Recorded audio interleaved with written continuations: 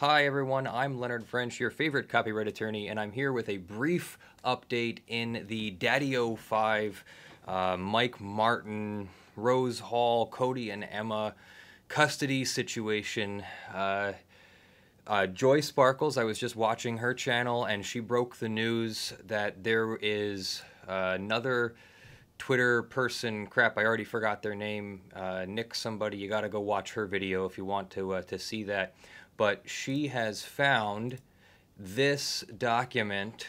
Uh, she and, and, and her friend have found this document, which seems to indicate that Mike Martin, the defendant in, uh, or the, the, the father in DaddyOFive, is now a defendant in a domestic violence case. Uh, it appears to have been filed on 428, which was last Friday at 1:30 p.m. It says somewhere here that it's ex parte, and ex parte would mean only one party was present. And what that means is that uh, whoever brought the domestic violence charges or claims is likely a person, not a police officer or anything that went to the courthouse and filed some kind of paperwork. Uh, and then uh, these these basically these charges or claims were made. This is a civil. It looks like it's in the civil court system. So again, I'm not sure that he's being charged as a crime so much as like this is like a, a Maryland's version of uh, some kind of civil domestic violence dispute but it looks like he's the defendant, which means something happened on on Friday, either earlier in the day or maybe something happened late on on the 27th, and someone I'm, I'm guessing the uh, the stepmom. I don't know her name, but I, am just guessing. I do not know whether it's her or not. Uh, as you can see from the bottom of this page, the, the Maryland does not give us any more information. Someone will have to go to the courthouse and get some of the documents if, uh, if, if anyone wants to know. So interesting that there would be this alleged child abuse situation and seems like a lot of people recognize the difficulty that the children were going through but some people are still kind of on the side of the parents. Some people are still firmly on the side of the uh, the step the, the, step mom and and father. And uh, this seems to point more and more towards there is really some kind of either illness or situation going on here where the parents are too violent and too abusive, too aggressive with their children for whatever reason.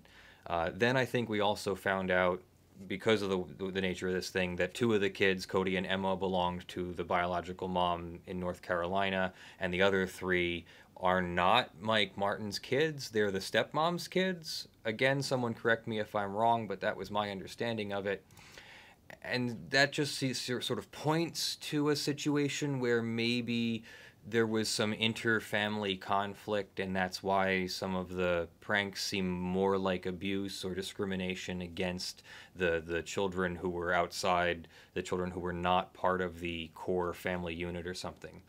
So uh, could the Hamish Milne asks could the depart the domestic violence relate to the children I guess that's not usually called domestic violence, though. That's usually called uh, uh, it's usually called um, uh, child abuse, just plain old child abuse. Um, hang on a sec. There's some kind of problem on the stream. What is Cerulean saying? Nope, no idea. Cerulean, uh, if when, when you receive this, uh, let me know what you're talking about. Uh, what about it stopping? So there's not much more to the update. It's it's currently Tuesday at 3:30 in the afternoon. He apparently has a hearing. Uh, f- uh, this could be. Uh, oh, you know, here's another piece of information that I didn't see. I didn't notice before. The hearing on 5/5 at 2 p.m. is for a protective order. So this might be a private domestic violence claim and that domestic violence claim means that someone is seeking a protective order.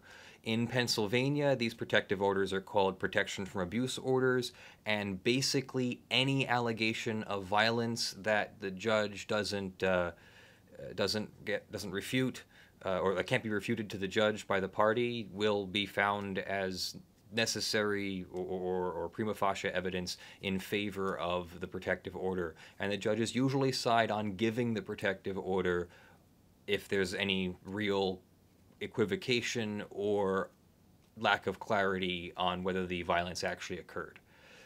If someone walked into court showing these videos and alleging violence, it would put a defendant uh, really, it would put the burden on them to show that they weren't violent, and it may be difficult.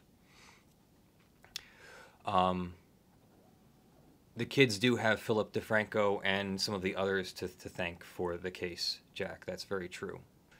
Okay, so Jack asks, did the parents make a run for it? That I don't know. I've heard reports that the stepmom and father made a run for it, but that would seem to me only possible after this domestic violence thing. So after 428 at 1:30 p.m., they they uh, they made a run for it. I don't know. That's that's that's not information I'm privy to.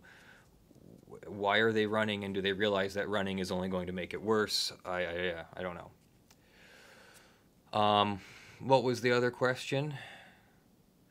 He okay. So it appears to be a claim. It appears to be a civil claim for domestic violence, not a, a criminal charge for domestic violence. I'm not 100% sure, but we are in the civil court system here with this document.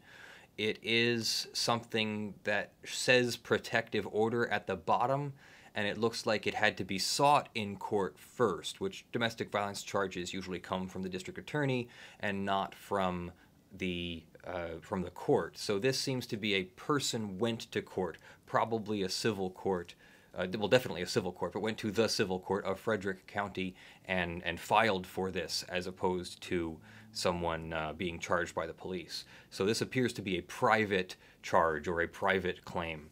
Uh, I'm going to stick by the word charge. I, I, I, don't, that's not technically the word that I would use to describe a civil claim, but this is close enough to it that I don't think the language is that, uh, is that far off. So let me just check the end of the, uh, the, the chat here. No H3H3 update. I'm sorry, I did check about two hours ago, so unless it's come through in the last two hours, sorry. There will be an update as soon as that happens, I promise. Uh, Zoe says I'm a legend. Thank you. I appreciate that. I always am trying very hard to be a legend, so uh, kidding, kidding, kidding. I'm just trying to be me, and if you happen to like what I do, good for both of us. Have the police taken the kids away yet? The police did take Cody and Emma away, but we're not. I don't know about the status of the other three. Like I said, some people have claimed that they're on the run for some reason to try and outrun some other custody case. That's not going to work. How, how long can you do that? Anyway, okay, so Thank you all for joining me. I am Leonard French, your favorite copyright attorney. Thank you all of my supporters. Thank you all of you who Twitter, who, tweet me, who Twitter me, wow, who tweet me about these cases, who interact in the comments and on social media, who support me on Patreon in any amount. These are all wonderful things that help me keep this going and help reduce the amount of time I have to spend on other work so that I can spend more time on this kind of work for you. I will have more updates as they come. Uh, thank you very much for joining me and have a great week.